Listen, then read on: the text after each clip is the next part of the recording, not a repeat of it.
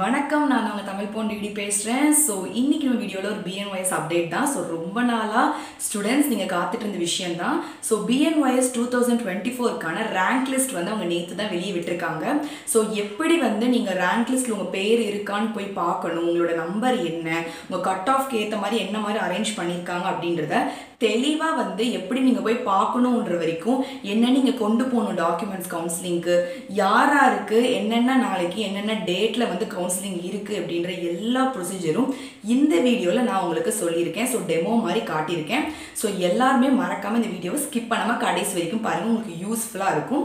So நீங்கள் பார்த்தீங்கன்னா government கோட்டாவில் இருந்தாலும் சரி மேனேஜ்மெண்ட் கோட்டாவில் இருந்தாலும் சரி ஸ்பெஷல் கேட்டகரியாக இருந்தாலும் சரி உங்கள் மூணு பேருக்குமே சேர்த்து இந்த ஒரே வீடியோ தான். ஸோ உங்கள் மூணு பேரோட நேம் லிஸ்ட்டும் இந்த மூணு கேட்டகரியில் இருக்கக்கூடிய உங்களோட நேம் லிஸ்ட்டுமே வந்துட்டு தனித்தனியான நோட்டிஃபிகேஷன்ஸில் வந்திருக்கு. ஸோ எல்லாத்தையுமே கட் அண்ட் கிளியராக வந்து நான் எல்லாமே டெமோவாக காட்டியிருக்கேன். ஸோ வீடியோவை கடைசி வரைக்கும் பாருங்கள் அதில் மென்ஷன் பண்ணிக்கக்கூடிய டாக்குமெண்ட்ஸாக இருக்கட்டும் இல்லைனா வந்து கேஷ் அமௌண்ட்டாக இருக்கட்டும் எல்லாத்தையும் ஞாபகமாக மறக்காமல் எடுத்துகிட்டு போங்க. ஸோ வாங்க வீடியோக்குள்ளே போகலாம்.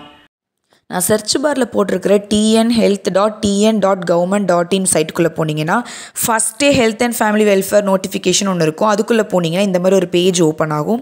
ஸோ இந்த ஸ்க்ரீன் ஸ்க்ரோல் பண்ணிகிட்டே வந்தீங்கன்னா கீழே நோட்டிஃபிகேஷன் வரும்.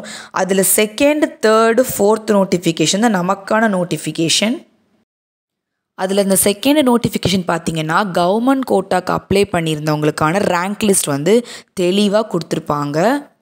இந்த பிடிஎஃப்பில் உங்களோட பேர் என்ன நம்பரில் இருக்குது அப்படின்றத நீங்கள் செக் பண்ணிக்கோங்க. உங்கள் நேம் இருக்கான்னு தெளிவாக பார்த்துக்கோங்க அது நீங்கள் அப்படின்னு ஸ்க்ரோல் பண்ணிகிட்டே வந்தீங்கன்னா லாஸ்ட்டு த்ரீ பேஜஸில் உங்கள் உங்களோட டேட்டுக்கு என்னென்னைக்கு கவுன்சிலிங் நடக்குது அது எப்போ நீங்கள் வரணும் அப்படின்றத கொடுத்துருப்பாங்க ஃபஸ்ட்டு பேஜில் ஸோ செகண்ட் பேஜில் பார்த்தீங்கன்னா நீங்கள் வந்துட்டு கவுன்சிலிங் வரும்போது என்னென்ன சர்டிஃபிகேட்ஸ் கேரி பண்ணிட்டு வரணுன்றதை போட்டிருப்பாங்க.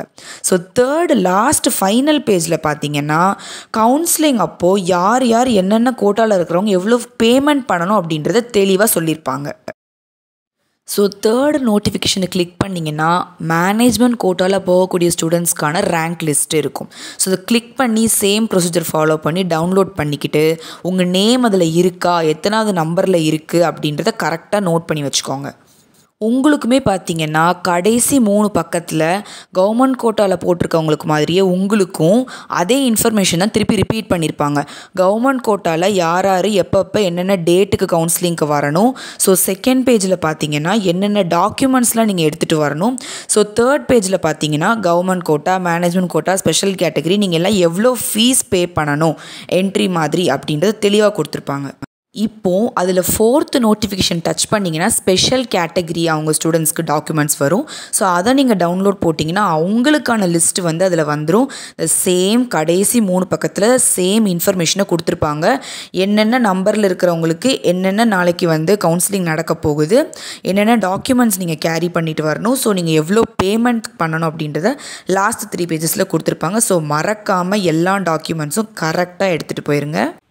இந்த வீடியோ உங்களுக்கு ரொம்ப யூஸ்ஃபுல்லாக இருந்திருக்கும்னு நினைக்கிறேன். ஸோ இந்த ப்ராஸ்பெக்டஸில் கொடுத்துருந்த மாதிரி என்னென்ன சர்டிஃபிகேட்ஸ் டாக்குமெண்ட்ஸ்லாம் நீங்கள் எடுத்துகிட்டு போகணும் அப்படின்றத தெளிவாக ஞாபகத்தில் வச்சுட்டு கரெக்டாக ஒன்றுக்கு ரெண்டு தடவை செக் பண்ணிவிட்டு த்ரீ காப்பீஸோ கூட பரவாயில்ல. நீங்கள் ஒரிஜினலும் வச்சுக்கோங்க ஜெராக்ஸ் காப்பியும் வச்சுக்கோங்க பரவாயில்ல.